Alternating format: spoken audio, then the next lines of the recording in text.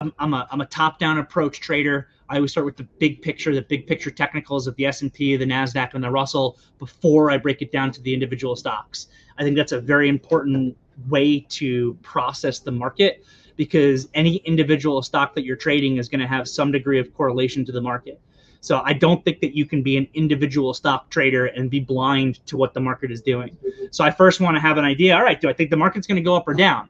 And if I think that the market is going to go up, then the opportunities that I'm going to be looking at in individual stocks from a day trading perspective are primarily going to be to the long side because those trades will have a higher probability of success buying those stocks if the if I if the market's moving higher than if the market's going down and it's and it's actually breaking lower.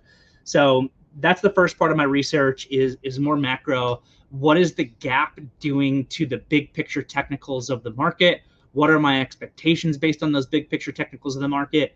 Is there any new macro news that is impacting what those daily technicals actually look like that I should be bringing into my thought process and bringing into my thesis? And then only after that's done do I really dive into the individual stocks.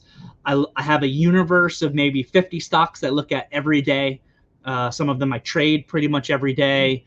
Uh, so I go through my normal universe of stocks. And then on top of that, I look at every company that has news, every company that got an analyst up, upgrade or downgrade, every company that um, had an earnings report, every company that just had general stock news to see if those names are becoming in play in such a way that it's creating additional trading opportunity, like I was just describing, combining what that news event is with the big picture technicals to see if there if there's an opportunity.